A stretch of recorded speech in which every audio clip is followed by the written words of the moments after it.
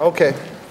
So, the motion for Article 29 reads, Move that the town amend the zoning bylaws of the Code of the Town of Hadley as delineated in Article 29 of the annual town meeting warrant, excuse me, for May 5th, 2016, and incorporated by references herein. Do I have a motion?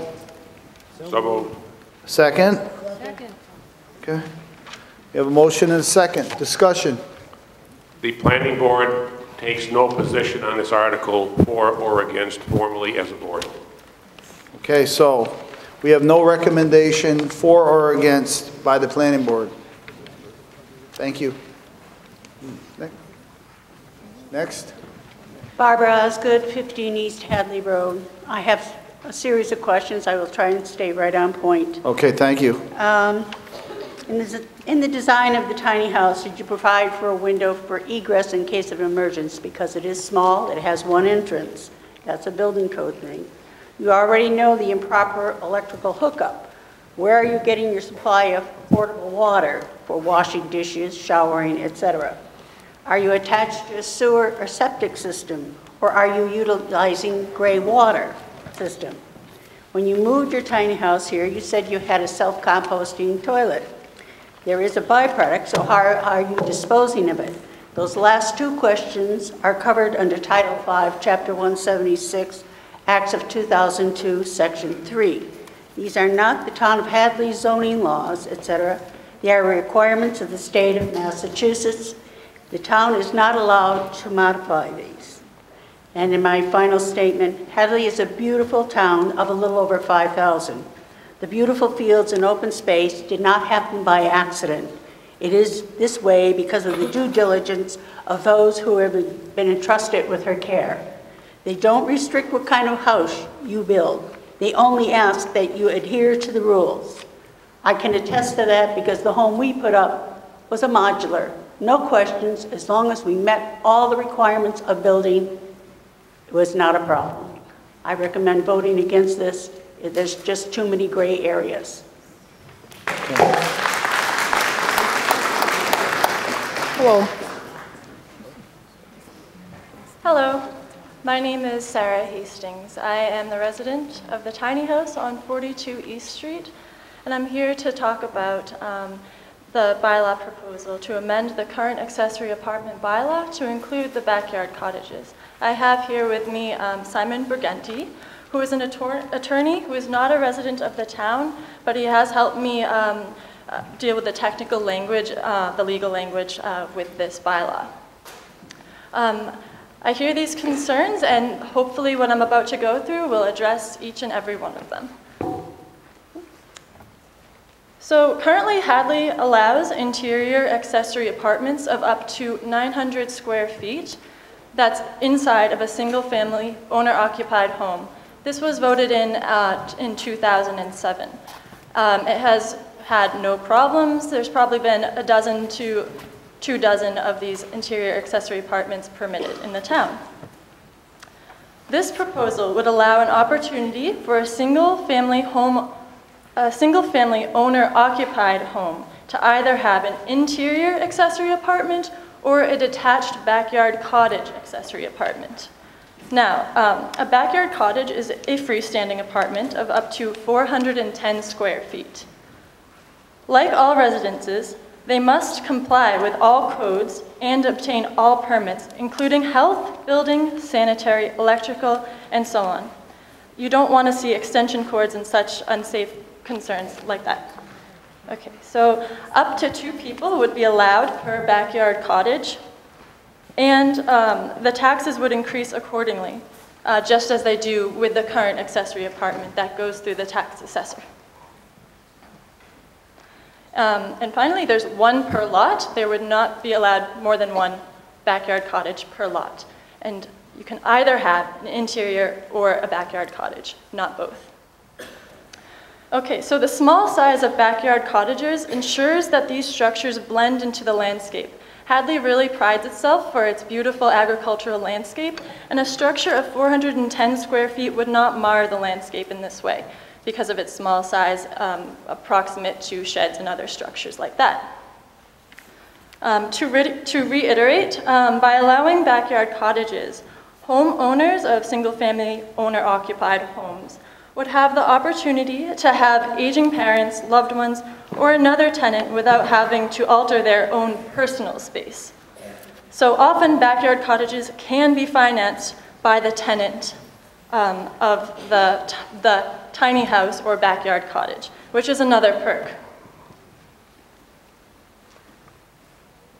Backyard cottages would have to be renewed annually, so there is a safety net in case of concern.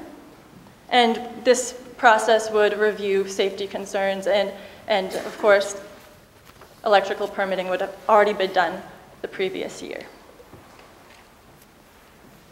Backyard cottages would serve the demographic of Hadley and align with the town's master plan. The master plan specifically identifies the need for um, diversified residential opportunity while preserving the agricultural landscape. Now, uh, backyards cannot be sublet, and they are meant for full-time residency. And at this moment, I'd like to pause just to note that this bylaw proposal comes from a personal place. As many of you know, I'm the tiny house girl. And um, so uh, I have endeavored to find a legal route to living small. Upon hitting several roadblocks, namely the non-existence of permits for my purpose, I noticed a gap in the zoning bylaw that might be able to use this as, a, as an instrument. Um, so I went forth to, to propose a bylaw to legally account for backyard cottages um, after an outpouring of support for the concept. So there was a very noticeable support for this, so that is why I went through this great length to bring it to town meeting, and I'm very thankful for this opportunity. Um, now, moving on, um, some Oh. frequently asked questions I'm just going to touch upon Okay. real quick. So, number one, the gray water and sanitary is a really big concern. And just to make it short, these backyard cottages need to, um, need to comply with Title V. And that usually involves septic, but there are alternatives, and those require permits through the Department of Environmental Protection. Now, um, campers and mobile homes, would those be allowed? And the answer is no, because they do not comply with residential code. Campers and mobile homes are constructed to their own set of um, codes, and they are mass produced in a factory. And these homes that we're talking about here are built with integrity, non toxic materials, hopefully, and are um, built uh, they are inspected by the building inspector and the appropriate local boards. And now, what if the tenant or the, the homeowner moves? That's always a big concern that comes up when I'm talking about this. And um, so the permit needs to be renewed on an annual basis. We already touched upon that. And if either the owner or the tenant moves, the backyard cottage structure must either be removed or redefined as a non-residential structure. And of course, people always want to touch upon what about my house and the process that I took. I just want to say I really want to have a legal process, and that is why I'm here. And um, if you have specific concerns about my house, um, be, sh- be sure that it will comply if it is permitted.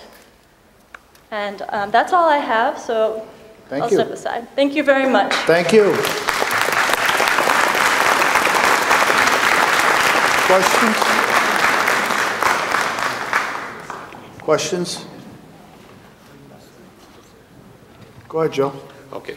I'm Joseph Rodnick, 5 Meadowbrook Drive. I am a member of the planning board, but I am not talking on behalf of the planning board. Uh, Recently, the planning board has done an update on its master plan. The overwhelming response as to the direction the town wanted the town to grow, or what it wanted to look like, was to preserve the agricultural heritage of, and her- agricultural and rural heritage of the town.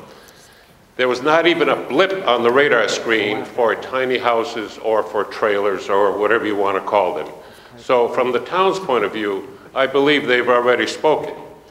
Number two, look, one little cottage is a quaint little chicken coop, but 100, 200, 400 scattered all over town certainly is going to affect the rural atmosphere of the town.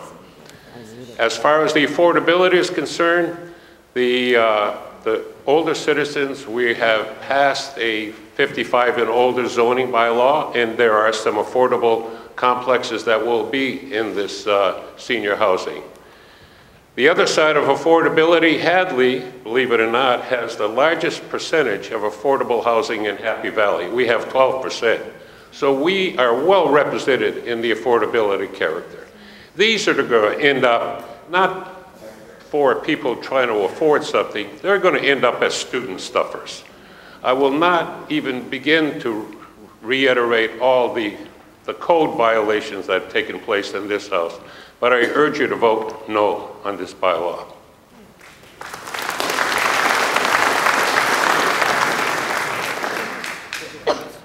Hi, Jean Baxter, Stockwell Road. Um, I didn't think I was going to be able to vote in favor, but I will vote in favor of Sarah's bylaw. Uh, I've watched Sarah when she was building her tiny house at Mount Holyoke College, and I admired and admire her bravery because she showed a kind of civil dis- disobedience. Many of us in 1970 know what I mean. Um, to do something against the rules so that she could make her point and make something better. And I really applaud that, that she broke the rules. I also think her tiny house is beautiful. And I thought, oh, I really wish we could have more of that. Gee, it's a shame that we can't. It just doesn't meet our bylaws. It's going to be a lot of mobile homes, oh my God, and trailers, oh my God. Um, so that's how I came in. It's like, Sarah, I love your house, but I didn't know how I could support it. But you answered my questions. I also can see George and me in a cottage on Maple Avenue, you know, next to Emma's house. I'm there. Okay. Feels good. Um, that's a, only half a joke. Um, but this does fit with Hadley. Yes, I can see a hundred little cottages plopped around in Hadley. I can see me as an 80 year old grandma living in the cottage next to my daughter. I can see it. And I think this has addressed the concerns. And Sarah, thank you. It will be affordable. Instead of having to have, what would I need, $60,000 for a down payment on a small Hadley house? I could have a house for $60,000. Sarah, I, yours cost 20, maybe 30 tops? 16. So that's the ultimate starter-upper. Um, but I encourage you to think openly, to embrace her disobedience, to embrace the challenge that she Excuse me, gives ma'am. us, and our planning board, and I've gone over time. Thank you. Can we, can we keep, can we keep the questions and comments to the actual petition bylaw? Um, All the extracurricular comments um, really don't matter. What we're, what we're voting on here potentially i- is a bylaw that will be binding in the town of Hadley. So please keep your questions and comments to the bylaw that if it passes, it may have to be enforced in this town. So the feel-good story is the stuff that you watch on TV. The bylaw is what you got to deal with if it passes. So let's keep the discussion to that, please. Shel? Shel Horowitz, and I'm going to speak now not only as a resident of Hadley, but the author of five books that touch on green living and green business and transformational business, as well as. Self-promotion is, goes right along with, I haven't mentioned my book titles. This is not self-promotion. This is to establish that I have some standing in this area. Um, and I want to give you a national and international context for this because that has been absent from this discussion, and it's important to have that. Okay? There is a movement all across the country and all across the world to find different ways of doing the things we've always done. We see it in everything from, you know, Uber to the organic food movement. Uh, I think what Sarah's doing is very much a piece of that. It's a way of reinventing the world that we now live in for modern times in a way that respects the culture and the history and everything that's come before, but that enables us to go beyond some of the places where we got stuck. Um, you know, I, I think if anybody has heard of biomimicry, where you actually look at nature as your chief engineer and you look at how to build in ways that are in, in harmony and in um, enhancing the planet. I think what she's done here is a step toward that. I know it's late and I'm not going to go on at length, but I could if I needed to. so I will stop there, um, but I will say that one person whispered to me as I was standing here that if there's an issue with too many in town, that could be addressed with a restriction on the overall number. There already is a number. One, one per lot. I'm Jessica Zane, I live at 69 Hockanum Road. Um, I'm in favor of this. I've gotten to know Sarah, and I've been really incredibly impressed by the diligence that she has done um, and, and how she has put all of this together. What I love the most about this is that it's a way of making these legal. So all of the concerns that people have, if it doesn't fit health codes, if it doesn't fit whatever, then it doesn't work, and that's really important.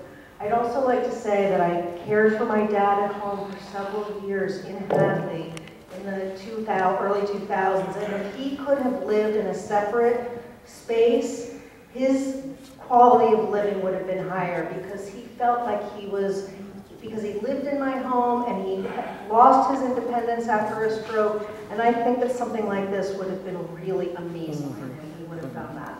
Thank you. Thank you. Bianca Epstein, 77 Hockanum Road. I'm strongly in favor of having an alternative that's affordable, that gives older people, um, people without means, a legal, sanitary, code-based way to live in Hadley.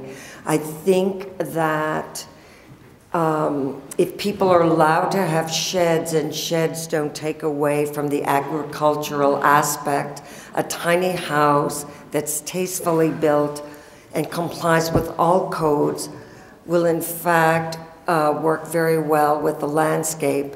When we voted, uh, or some people voted um, in favor of Montgomery Rose, their development, which was agricultural, being rezoned, what that did was drastically change the agricultural landscape of Hadley.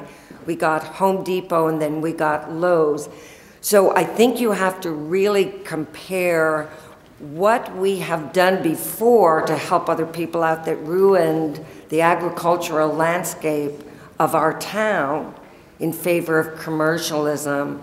And now somebody's asking about can we really look at embracing something that can really make it affordable for more people to live in Hadley who don't want to move out? I think it's really the correct way to go. Thank you. Bill? Hi, uh, Bill Dwyer, 388 River Drive, and I am also a member of the planning board, but I am not speaking as a member of the planning board, uh, but with some experience. Um, I consider this a logical extension of the accessory apartment bylaw. The current bylaw calls for an accessory apartment to be within or attached to the primary structure. We have had inquiries in the past from people who have wondered if they could convert a uh, freestanding garage, second story of a garage, or uh, an outbuilding of some sort to an accessory apartment. We've had to say no. So this is not only something that is consistent with accessory apartment, it, it is a need that has been expressed in the past. Um, going forward, these would be by special permit. They would not be allowed where they are inappropriate. And I would note uh, that at our public hearing on the zoning article, Sarah did concede that her present structure might not qualify under the bylaw she is proposing. It might require retrofit or some changes. But as a concept, a freestanding accessory apartment is, as I said, a logical extension of the accessory apartment bylaw. Um, So uh, I, I personally think this is a, a good idea, and I will support it. Thank you. Thank you. Move the question. John Minchkowski, Move the question. for Sunrise Drive. I have a motion to move the question. Oh. You second it? Well, I know I don't. No. I'm not going to accept it because we have eight people waiting. What's that? We have people on the other article too, Brian. Not eight, Consistent. not eight of them. When the, when the library article was exactly. Mr. Michkowski, do you have anything Do new I to have the mic? Yes, I Oh, just thank- recognized you. Thank you. Uh, I looked at this petition. Discrimination. Against who? Against me, that I can speak? Against all the people waiting to speak with the library. I've been standing here for five minutes. I know. You're not in charge, I, I he voted is. against calling that question. Go ahead, John, go. All right. I'm also a member of the planning board and not speaking for the planning board. In concept, I supported that, okay? But then I turned around after talking to the constituents in this town, and I started on election day, and I didn't stop every day I went. I didn't find not one person that supported that. So then I looked for the uh, overwhelming vote for the petition certified by the town clerk, there was only 15 people that would sign for this petition. And I urge against this. I, I think there's further planning to do, but not at this time. Okay. Hold on, we have people waiting. We have people waiting for the library article too. We've had, we've had four, excuse me, hold, hold on. Sit down, sit down, please. People. Listen, we've had, we've had like four people speak to this issue, okay? There was more peop, there was plenty of people that spoke to the library issue before it was called. People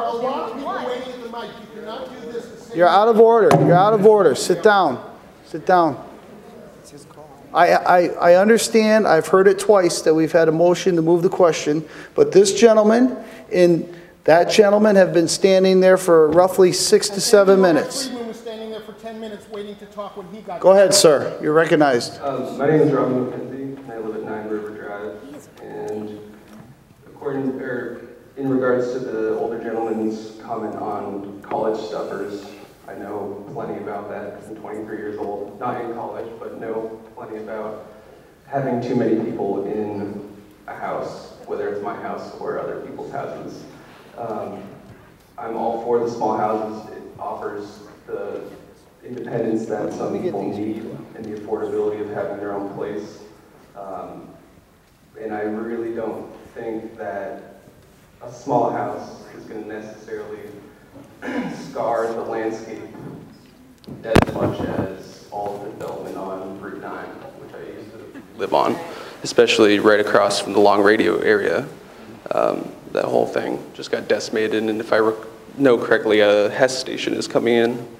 Um, it's another gas station on Route 9, and I'm more concerned about that than someone living comfortably in a nice tiny home, also helping the landowners and homeowners with their expenses. Um,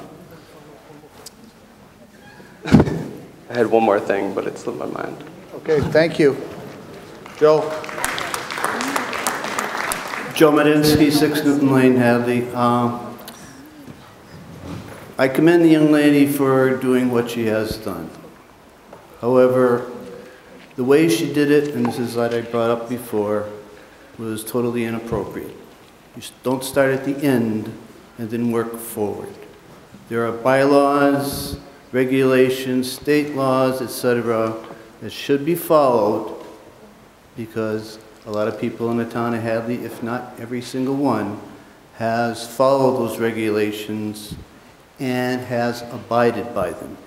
What I'm getting at very simply, if maybe she had come before the town meeting and proposed this bylaw previous to doing what she has done, then it might be acceptable.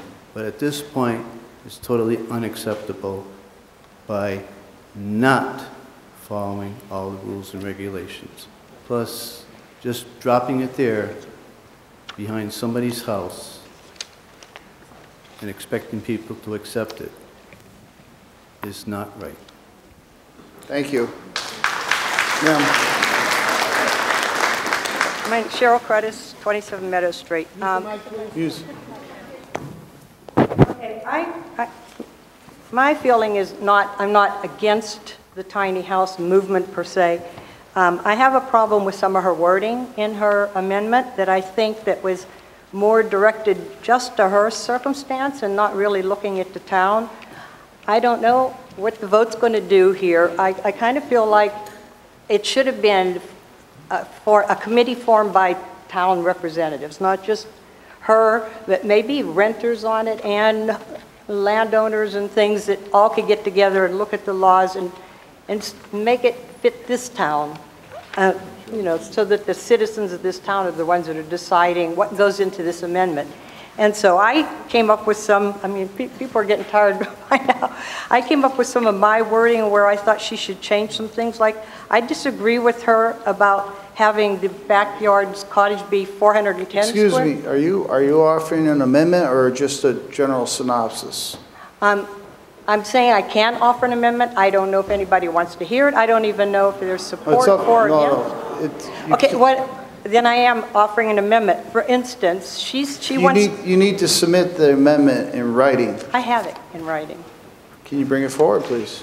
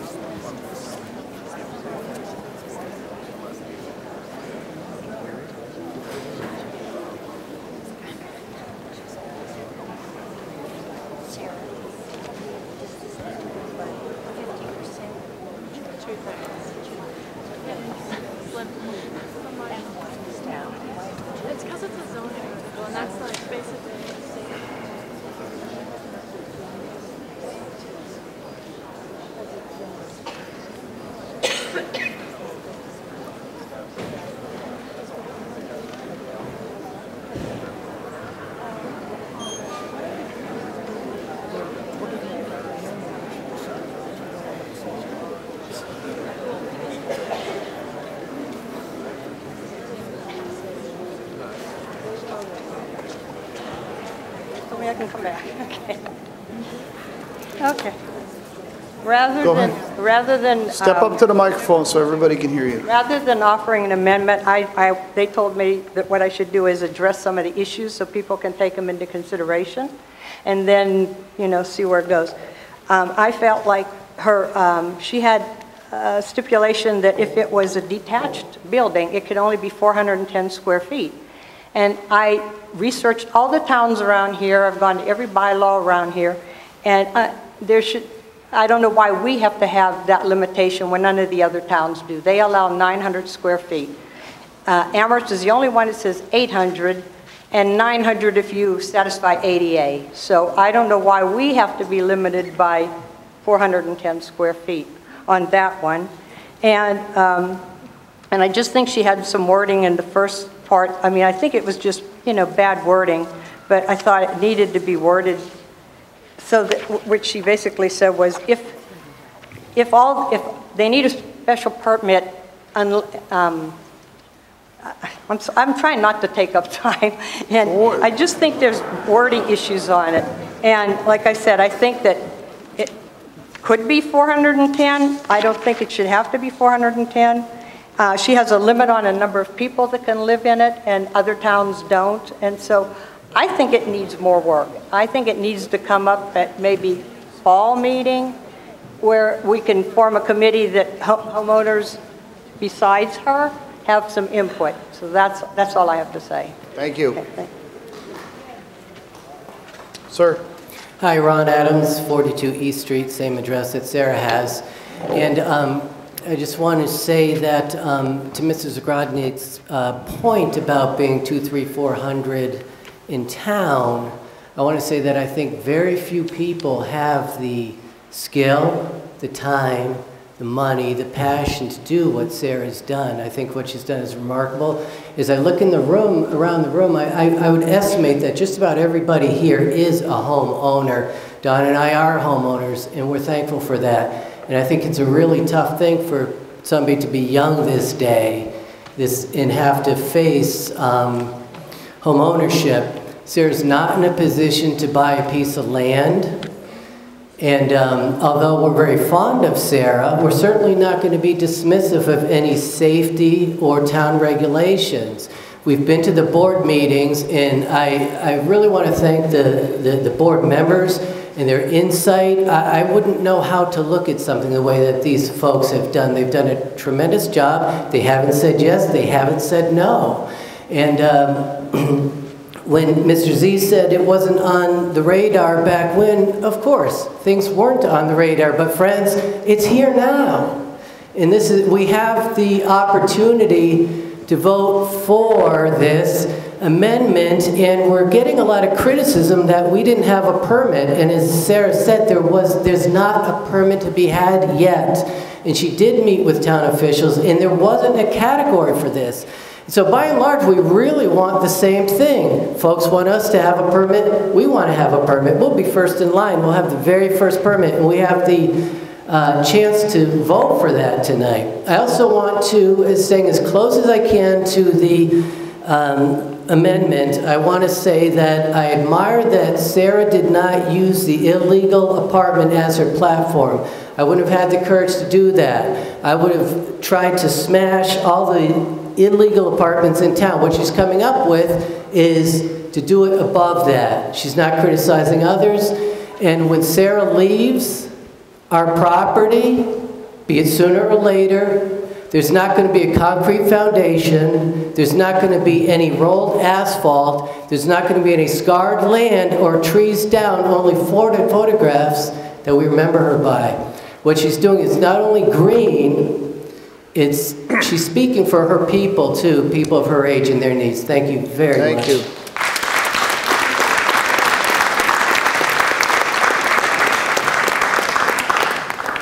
Dan Dudkevitz, 130 Hockanum Road. Earlier this evening, I was honored by the town for my work for the town. One of those jobs I had was I was on uh, the Long Range Planning Committee with Mr. Devine, Mr. Iser, a few more people. And I believe we came up with a, we were looking for opportunities. And we came up with the accessory housing bylaw. We also, I think, came up with, uh, if you're going to have a big development, that uh, so much was going to have to be affordable. So, me, myself personally, I was always looking for opportunities for other people. Play by the rules, though. But uh, I guess I'm too old to understand tiny houses all right? Uh, This isn't a house, it's a trailer. It's on wheels, okay? Uh, All the stuff that we do for zoning bylaws, they're very specific. You know, you have to have this, you have to have that. I think perhaps if she had put this trailer on its own lot, I perhaps would have looked the other way, and I wouldn't be talking to you in front of this microphone or even addressing this situation at all. But that's not what happened. Uh, So uh, as as far as this opportunity comes around for these people, I got to tell you, I'm not in favor of this at all, and I ask people not to support this. Thank you.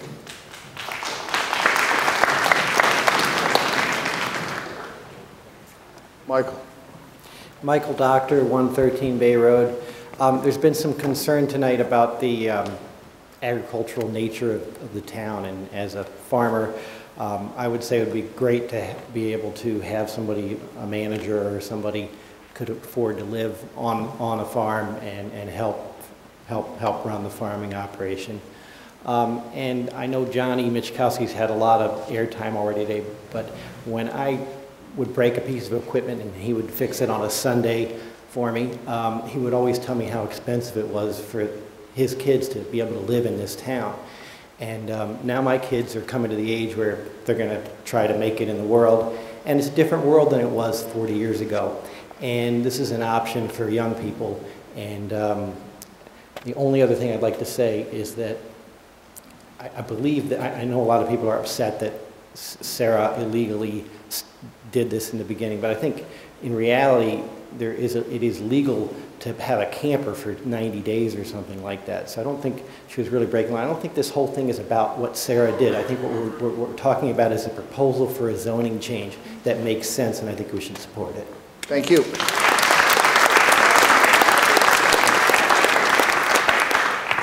Go ahead. John Silvestro, 157 Rocky Hill Road. Mr. Moderator, I move the question. Do I have a second? I have a motion to move the question with a second. All in favor of moving the question signify with your gray card. Opposed, moving the question. The question has been moved. Now we go to the motion for the petitioned article. All in favor, please raise your, your gray card. Hold them up high. Okay, I'm going to enlist my counters.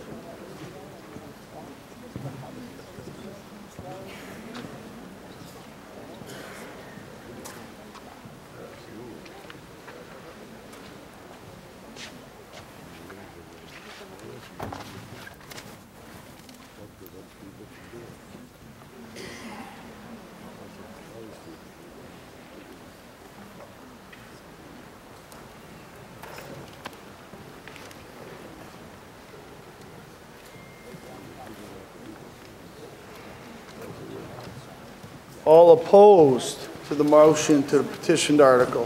Please hold them up high so we can get an accurate count.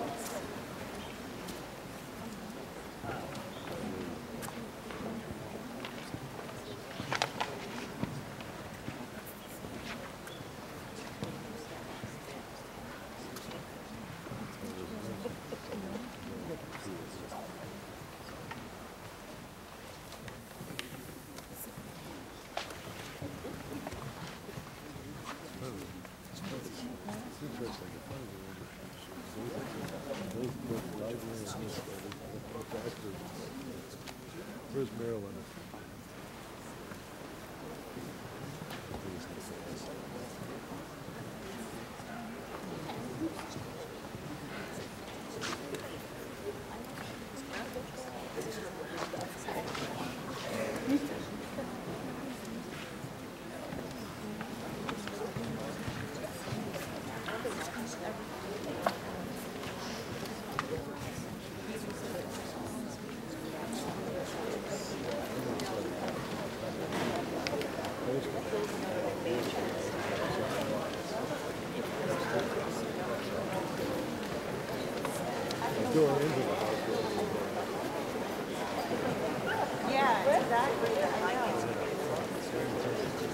Any abstentions?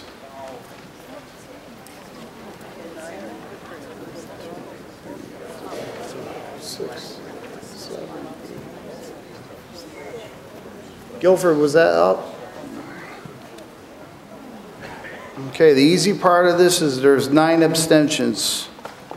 Four votes for the motion were 55, 25, and 22. So that's seven, 12, six. It's 102. Against was 87, 74, and 54. So that's 8, 15, 12, 20, 215. So I have 102 for, 215 against, and 9 abstentions. Motion fails.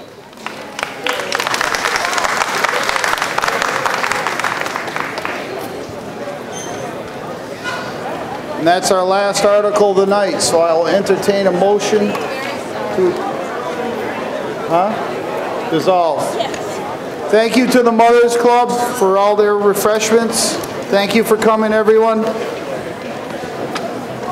Meeting is now closed.